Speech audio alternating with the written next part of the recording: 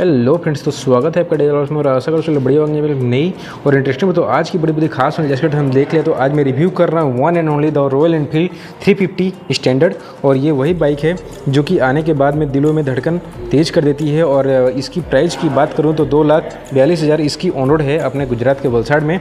और special thank देना चाहूँगा वेरी ऑटोनिटी वलसाड़, जो कि अपने गुजरात के वलसाड़ में है। और भी ज़्यादा डिटेल्स के लिए आपको देखने मिल जाएगा एड्रेस और डिस्क्रिप्शन में इनका कॉन्टैक्ट नंबर तो सबसे पहले अगर लेफ़्ट साइड से बात करूँ तो यहाँ पे आपको कुछ इस टाइप का देखने को मिल जाता है। यहाँ पे रॉयल एनफील्ड की ब्रांडिंग देखने को मिल जाती है और लाइटिंग की वजह से इसका कैमरा भी जज नहीं कर पा रहा है गोल्डन और रेड में थोड़ा सा आपको देखने मिल जाएगा। बाकी यहाँ पे किंग का जो निशान है किसान किंग ऐसे ही नहीं बोला जाता भाई किंग है।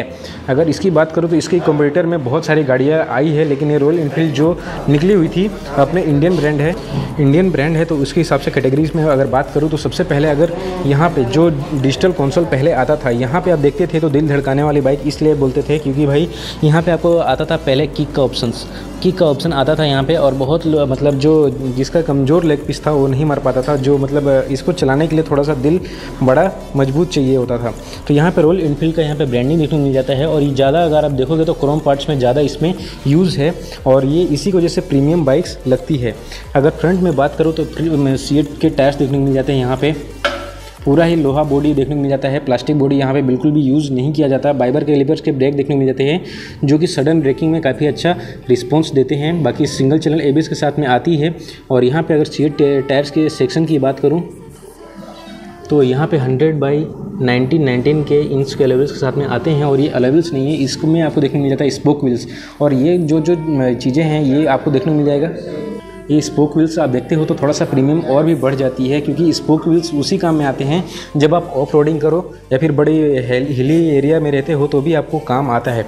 बाकी यहाँ पे अगर बात करूँगा तो यहाँ पे ए तो देखने मिल ही जाता है, इतना बड़ा आपको देखने मिल जाता है डिस्क ब्रेक डिस्क ब्रेक का ऑप्शन पहले नहीं आता था, अभी किक का भी ऑप्शन यहाँ पे हट चुका है। बाकी सलेंसर की बात करूँ तो कैटेलिटी कन्वर्टर यहाँ पे देखने मिल जाता है, अंदर की ओर में ही आपको देख लो ऑक्सीजन सेंसर यहाँ पे लगा हुआ है।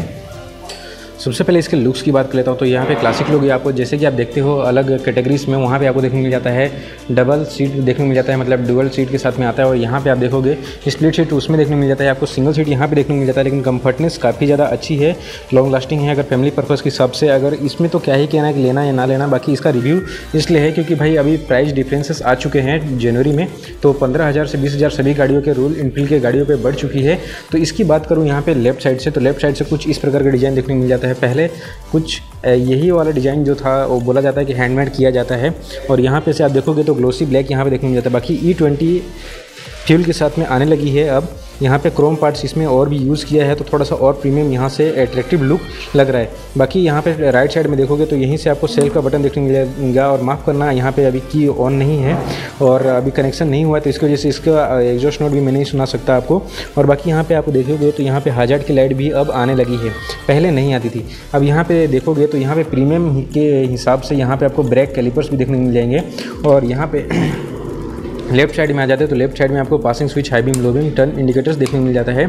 और ये भी आपको मतलब जो नए जनरेशन के हिसाब से दिया गया है, वो सारे गाड़ियों के रॉयल इनफील्ड के सारे गाड़ियों में ही देखने को मिल जाता है। बाकी असली बुलेट बोला जाए तो क्लासिक 350 के बाद में, उसके पहले भी स्टैंडर्ड 350 को ही बोला जाता है। अगर रियर में आ जाते हैं तो रियर में कुछ इस प्रकार का जो डिज़ाइन दिया गया है क्रोम पार्ट्स में ये ज़्यादा यूज़ होते हैं। और बाकी ये वाला देखोगे तो उतना ज़्यादा फ्लेक्सिबल तो नहीं लेकिन ठीक है। बाकी यहाँ पर देखोगे तो ये भी आपको चेंज कर दिया गया रॉयल इनफील्ड का यहाँ पे ब्रांडिंग देखने को मिल ही जाता है। यहाँ पे जब चेंजेस की बात कर रहे हो तो 2023 के में ही आ गया था आपको ये चेंजेस और बाकी यहाँ पे जो लोहा बॉडी है लोहा लोहा बॉडी गिरने के बाद भी मतलब इसको चलाने के लिए सही में भाई जिगर चाहिए। और बाकी रॉयल इनफील्ड का ब्रांडिंग तो यहाँ पर आपको देखने को मिल ही जाएगा। बुलेट थ्री फिफ्टी यहाँ पर लिखा हुआ है। यहाँ पे स्पोक व्हील्स के हिसाब से देखा जाए तो ये भी ठीक है। अब इसमें अदर मोड्स की बात करूँ तो वेरिएंट के बाद में जो आता है सेकेंड वेरिएंट उसमें आपको देखने मिल जाता है डबल डिस्क का ऑप्शनल देखने को मिल जाता है। अगर फ़र्स्ट में लेते हो आप तो उसमें आपको देखने को मिल जाता है सिंगल डिश में, जो कि बेस्ट वेरिएंट में आता है। और यहाँ पे रोल इनफील्ड में आप देखो तो पीछे में भी आपको स्पोक व्हील्स देखने को मिल जाएगा। अगर टायर सेक्शन की बात करो तो 120 80 18 इंच के अलविल्स के साथ में इसमें रियर में देखने को मिल जाएगा। बाकी इसमें रियर में भी स्पोक व्हील्स देखने को मिल जाएगा। आपको पकड़ने के लिए काफ़ी ज़्यादा शानदार लुक दिया गया है। यहाँ पे हाइड्रोलिक सस्पेंशन देखने को मिल जाता है रियर में। तो ये भी क्रोम पार्ट्स में थोड़ा सा मतलब जो क्रोम पार्ट्स की गाड़ियाँ होती हैं, इनको मेंटेन करना थोड़ा सा हार्ड होता है। लेकिन भाई, अगर पुलिस अच्छा यूज़ करते हो अच्छा कपड़ा रखते हो तो आपको ज़्यादा ये गाड़ी सालों साल तक चमकती रहती है और यही एक लोहा गाड़ी है जिसमें कि आपको कंपटीटर मार्केट्स में इसको कोई कॉम्पिटिट नहीं कर पाता है। अब बाकी एडवांस फीचर के हिसाब से और एडवांस टेक्नोलॉजी के हिसाब से अगर इसकी इंजन और रिफाइनमेंट की बात करूँ तो सबसे पहले कितनी इसकी देखने मिल जाती है? यहाँ पे डिजिटल प्लस एनालॉग का मीटर देखने को मिल जाता है। रॉयल इनफील्ड बुलेट 350 यहाँ की ब्रांडिंग यहाँ पे आप देखोगे तो रॉयल इनफील्ड का यहाँ पे ब्रांडिंग दिया गया है आर लिखा हुआ है यहाँ पे आर शेप में। और ये एकदम ही अंदर के स्टिकर में लगता है। बाकी यहाँ पे आप देखोगे तो यहाँ से आप बहुत लोग चेंज भी करवाते हैं। यहाँ पे मीटर्स यहाँ पे नेविगेशन डलवा देते हैं। अब यहाँ पे अगर जो पहले से चला हुआ आ रहा है और अभी जो चला हुआ आ रहा है एडिटिंग की अगर बात करूँ इसमें चेंजेस की तो Royal Enfield digital plus analogue का मीटर देखने मिल जाता है। ब्लूटूथ कनेक्टिविटी कनेक्टिविटी के साथ में अब आ चुके हैं ये बाइक यहाँ पर आपको डाल की यहाँ पे से डालना है। और बाकी यहाँ पे क्रोम पार्ट्स में देखने को मिल जाएगा सिंगल में हैंडल ही देखने को मिल जाता है। अब यहाँ पे मैक्सिमम टॉर्क की बात करूँ तो यहाँ पे 27 सेवन मीटर के टॉर्क जनरेट करता है 4000 आरपीएम पर। और 20.4 न्यूटन पीएस की पावर जनरेट करता है 6100 आरपीएम पर। 350 सीसी के साथ में इसमें लिखा हुआ है, लेकिन 349 सीसी के साथ में आता है। और कंपनी की बात करूँ तो कंपनी इसमें क्लेम करती है थर्टी सेवन के बिल की माइलेज लेकिन आप आराम से इसमें 32 से 35 फाइव के एम बिल की माइलेज अचीव कर सकते हो अच्छे से अच्छे कंडीशन में। बाकी अगर रॉयल इनफील्ड की बात करूँ तो माइलेज अगर माइलेज की बात करें तो माइलेज थोड़ा सा कम इसमें आता है, लेकिन इसमें आपको देखने मिल जाएगा।